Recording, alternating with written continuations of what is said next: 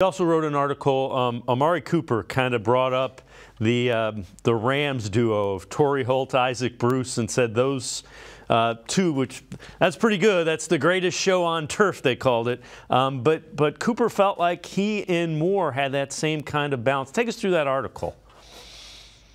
Yeah, I covered that championship game, the greatest show on on turf, and, and I, I remember doing that. And you know, just writing a whole big feature story on uh, on Kurt Warner that year, and just kind of diving into that whole thing with with Torry and Isaac. So you know, Amari is a student of the game, and he he really believes that that he and Elijah Moore together uh, can play at that level, and that's you know that's a lofty goal to have.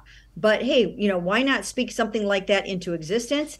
Uh, you know, he put it out there and uh, you know Elijah Moore, he's buying it. So uh, you know why not have a little bit of fun with this? And you know, and that's what you want to see from a football team with so many talented players. They should feel good about themselves. They should uh, you know talk the talk and all of that. So uh, I thought it was cool what he said, and I've written about it a couple times. Yeah, you know what? Uh, if that happens, get ready for the songs because they will be hitting the airwaves in Cleveland uh, if the two of those guys take off like that. All right.